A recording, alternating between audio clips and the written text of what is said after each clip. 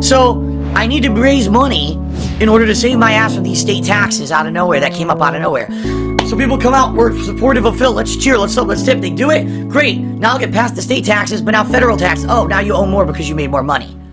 Keemstar joined Doody and for about 30 minutes put his balls on the coals and basically said, literally, your content is in violation not only of the law because you're putting completely unedited, giant, long clips of people's content on your channel without any commentary or criticism. Oh, yeah, content ID! Content ID! Content ID alert! But also, it violates YouTube's terms of service. I did try to join the chat of Doody's live stream, and immediately his mods timed me out permanently. I can't talk in his chat. He actually got them timing out permanently. Banned, banned, banned, banned, banned. Gone. And so I couldn't respond because he was actually saying on his uh, in his stream, "Oh, I need DSP to respond. I need DSP to respond." His mods timed me out, so I couldn't respond. So I said, "Fuck it, I'll just go on my own stream now." So, ladies and gentlemen, today on this very show, I will give my final edict, the King's edict on Doody. It, it, here's what's been going on. Three years he's been clipping my content. Three years he's been commentating very negatively on me, insane amounts of, you know, over the top hatred towards me. It's not just, oh, Phil stream suck. It's Phil stream suck. He lies to his audience. He spends all his money on this. His wife is fat and ugly. He does this and this and this. Uh, horrible things. You know, okay, you don't like me. Got it. You think I'm a scammer. Got it. You think I'm a scumbag. Got it. You think I'm the worst gamer on the planet. Got it. All right. This is systematic bullying. It shouldn't be allowed on YouTube, and it certainly shouldn't be allowed to be monetized. This guy got called out, not just by me, by the way, by others as well. Kino Casino has had issue with him. Even Keemstar has issue with him. And so over the last couple of days, after this guy basically being so awful to me for years, I've called him out on this channel. Just check the, the highlight, the stream highlights on this channel. I just have a, I have a clip from yesterday's show where I show you he literally plays like a 20 plus minute clip unedited from my stream. And all he has on the top of the screen is, oh, it's something about Doody streams. I don't like Doody streams. Or else you've robbed someone of their content. You've stolen. You're a thief. Not only is that against the law, it's also against YouTube terms of service. So I have all of this evidence and everything. All right. Seriously, I, you know, and he can't take it.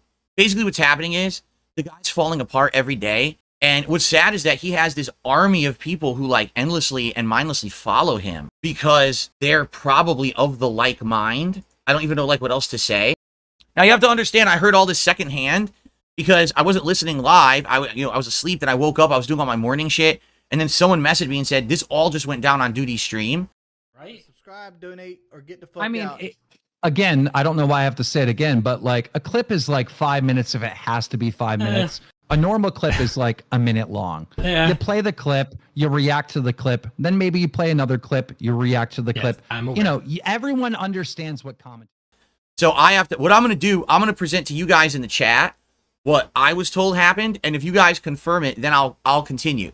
But if I say this in the chat and you guys are like, no, that didn't happen, then I'm not going to continue because this is all se- se- secondhand shit.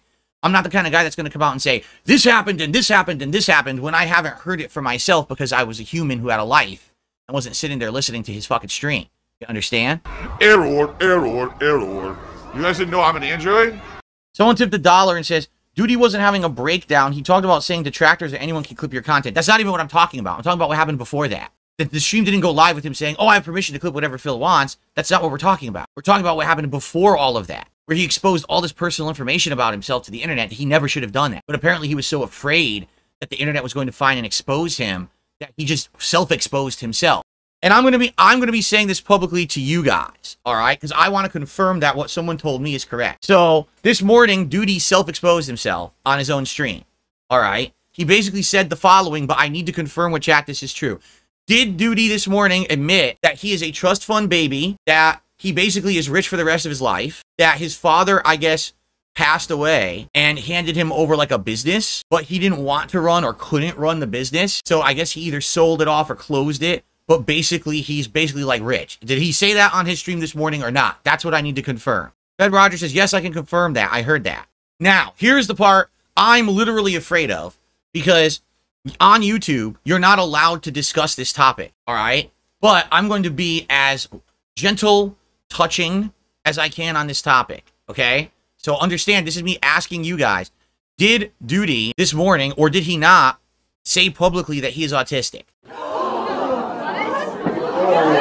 I want to know the answer, the truthful answer on this before I say a word about it. I don't want to be saying something that's not true. He never said that that's not true. Okay, that's what I needed to, to confirm, you see, because I get all this information. And when I get this information, it's like I'm not going to pass it along as fact. That's why I needed to ask the question. A lot of people say they maybe suspect he is, but he never admitted it because someone outright told me that this morning he admitted that publicly.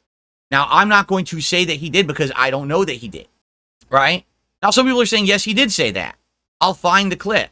All right. First of all, the whole idea of he's a trust fund baby, he's rich. That, for one reason, that already kind of explains stuff. Okay. People are saying, wait until I see the clip, but there's no clip. His stream was just live. I don't even know if he's still live now. So I can't get a clip. It's a fucking giant stream. You can't skim through the stream to find if and when he said something. You know what I'm saying?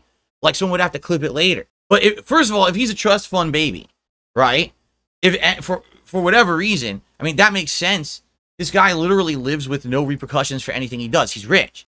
But but no, the reason that I'm bringing this, these topics up is it all makes sense. People are people are saying stuff like in the in the past he's wished you physical harm. He said that that my mom would he wished she would have fallen down the stairs so that she wouldn't have given birth to me. Wow, that's great stuff to say, isn't it? That's really nice stuff to say right? That they're okay with that. Oh, this is great. Yes, keep saying awful things. Keep doing awful things. We love it. What is wrong and unscrewed about his fucking audience, right? That's insane.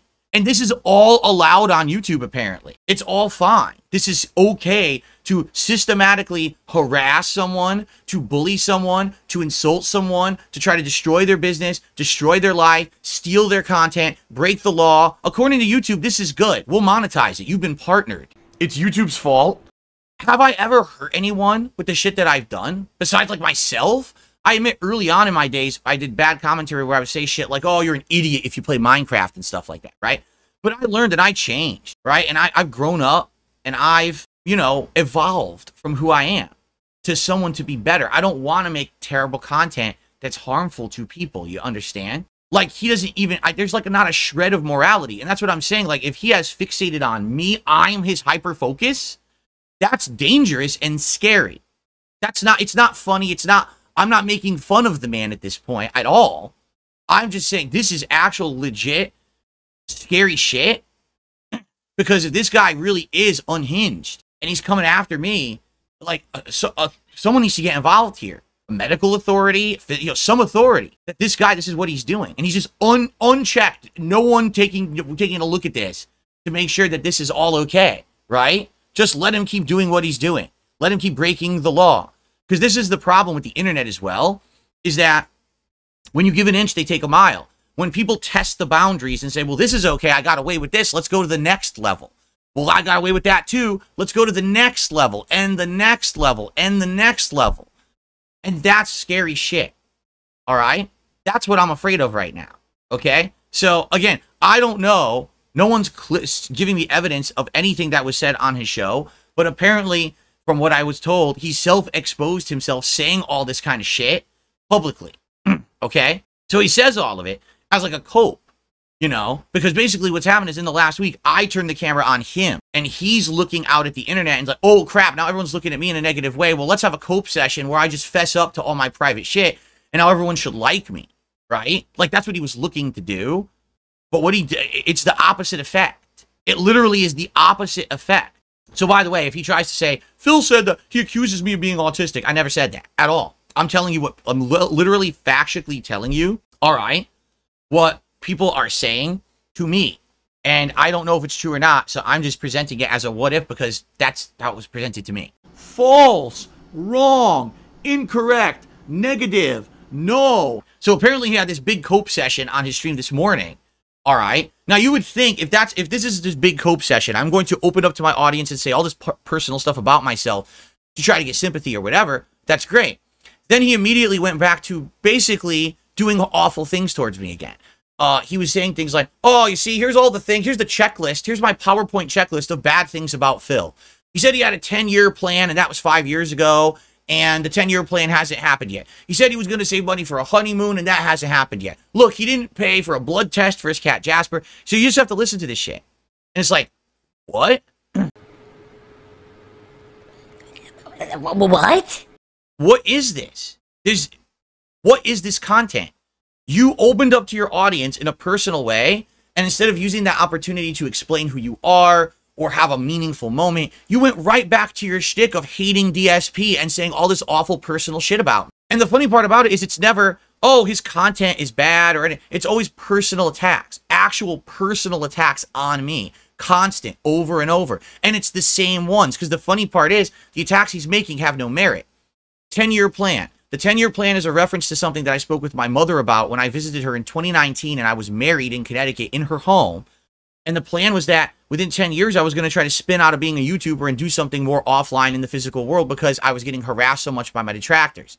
But then COVID hit the next year and all the jobs went away that I would have done. I was like, my God, thank God I didn't get on a 10 year plan and jump off YouTube because I would be unemployed right now and I would have lost everything. Because as you know, guys, just so you know, because the economy is down and inflation is up, no one is supporting streamers right now. There absolutely are not any streamers right now who are streaming who are getting insane amounts of contributions from dummies. You know, none of that's happening. No. Didn't you know there's a giant streamer crash right now? Did you hear about it? It's all over the news. Like, what the fuck are you talking about? Uh, so anyway, he went on this giant explosive tirade with an audience. Of course, he had just done this personal stream, so now his views go up, right? So now his views, he has like tons of viewers on his stream. So all of a sudden, as all this is happening, and he's basically ra- ragging on me for personal shit, and he's really feeling himself. Keemstar says he wants to join a show. I don't know how that came about. I wasn't paying attention. I was having my breakfast in the kitchen, okay? Basically, Keemstar says to him, listen, you are breaking the law. It doesn't even matter like what you think. You're breaking the law. Your channel has a ton of unedited clips that are extensively long 30 minute clips, 20 minute clips. These are not allowed via YouTube's terms of service nor by copyright law. All right. You are actually stealing content and re uploading it as your own, and you're getting tens of thousands of views and making money on it. That is a violation of the YouTube Partner Program. That's a violation of YouTube's terms of service, and that's a violation of US copyright law. You have to stop doing it. Okay? So these guys went back and forth for like a half an hour about it. And here's what happened. Doody actually said the following. I have a clip of Darkside Phil giving me permission that I can do whatever I want with this content because I have permission to do it, and that's why I do it. So that's why it's okay. And then Keem's like, well, well, let me see the clip or whatever. And basically, Keem said to him, so if Phil says to you now that's changing, you can't do that anymore, would you keep doing it? And he said, no, I will not do it. If Darkside Phil admits publicly, all right, that, you know, I will not, you know, that I will not do that anymore. If he says that I can't do that, I won't do it. So I literally, and I started talking, and get this. Number one, just listen to this. His chat room is all moderators. His entire fucking chat room is moderators, all wrenches. They're called wrenches on YouTube. They're blue wrench accounts. Okay? Literally every single one. So I type, "Hey guys, this is really DSP," and I'll I'll talk. I, I I'll I'll you know I'm being asked to respond. I'll respond. I immediately got timed out. Immediately. That's all I said. I said, "Hey guys, I'm here to respond." They time me out. You got the guy who's running the stream with Keemstar saying, "Let's get you know, let's get Phil's opinion on this. Let's hear." And then his mods immediately time me out, so I couldn't talk. It never, it like never expired. It was like an endless timeout. They timed me out like permanently or like for all day or something. I don't know. So I could never talk. So literally, he created an echo chamber. He actually created a room where only his moderators are talking and him talking to Keemstar directly, and that was it. You don't have the legal right to have unedited clips on your channel. You have to stop doing it. And then Doody would say, well, DSP gave me the permission to do it, and therefore you're, what you're saying is invalid. Okay. And then what, how Keem said, he says, well, I think if this is the case, I think we need to have YouTube review your channel because this sounds to me like you're just blatantly violating the partnership program and you don't care, right? You don't care that you're doing it. So I think we need to have YouTube review your channel. And so they all went in a circle like this. And it was like that for half an hour and finally said, we're getting nowhere with this. I'm out of here. And Keem left. And that's where we ended it. And then I, again, I tried to join the chat and say, hey, I, I couldn't talk. I was like, well, fuck it. I'm just going to go live on my stream. All right. So here I am live on my stream and I'm going to give my take on all of that. yesterday in my stream and in the clip that I released last night. In fact, let me go to my YouTube channel right now. Hey, Doody, do you have eyes and fucking ears? Do you see this video that I released five hours ago? Doody breaks the law but can't take criticism, and here's the proof. And it's me showing the unedited clip of me on your channel and calling you out for it and saying this is not allowed under US copyright law. So, isn't that an example of me telling you to stop doing this? There's a whole fucking video about it right here. Didn't you watch my podcast from yesterday? Right down here, where in that, I went into even more detail about how all of your videos and arguments are invalid. You're criticizing me for becoming a, a uh, you know, an ex-pro Twitter pro user even though I'm using it for the benefits of Twitter. Now I don't have to see ads on Twitter. I can use it for my business. So it makes no sense what you're saying. Again, you're in this mindset that because I said something before, it's ultimate and can never change. You have this really like simpleton's mindset on things. And remember also in that clip when I talked about uh, your other videos about me and how you do 16 videos a day, like I literally, if you watch the stuff, that that's uh, I already did this. So he's saying Phil needs to say that I don't have permission to do this. So you're asking for something that already exists. You're just lazy. Okay. You're lazy. You want to sit there in your echo chamber of moderators and really weird people who watch your shit, making harmful, toxic, really insulting, and pretty much illegal content on a daily basis. And when people call you out for it, you ignore it. You ignored that I told you you cannot do this. Officially, allow me to tell you, no, from now on, you're not allowed to clip my content outside of the context of fair use law. But here's the thing I didn't need to tell you that. Just because DSP says to you, "Oh, you can clip my con- I can clip my content, go for it," that doesn't mean that you are immune to the law or YouTube's terms of service. You whatever clip you're using, I didn't mean, "Oh, yes, you can endlessly do whatever you want with my content," you know, illegally. Duh. But again, I think what the problem is, is people like him don't have common sense. You are running a fucking nut house. Do you understand? It's a clown show. It's a room with a bunch of clowns bouncing off the walls. That's what you have. You don't have a stream. You don't have content. You have harmful, dangerous, toxic things happening on your channel. And quite frankly, professionals need to interject. It's not me that can stop you. It's not Keemstar that can stop you. Professionals now need to start looking at your channel and saying, what is going on here? Like, realistically, should this even be allowed? Because it's to the realm of borderline, like, like dangerous the obsession, the mania you have. You're breaking the law, but you're trying to justify breaking the law, saying Phil gave me permission to break the law. What are you talking about? What? No one with a brain that functions in a logical manner would ever say or do those things. Do you understand? What you're saying is crazy. And like I said, there's no. I, I almost feel like this morning when he when he opened up and he started saying personal stuff about himself, this was his like, well, I'm doing this because I want you guys to feel you know, like you know I'm opening up to you and this is my cope for everything that I do. So now you got to feel good about it and feel good for me or feel bad for me or whatever it is. Like you could tell he was trying to elicit emotion out of his audience, or why else would he have done that, right? and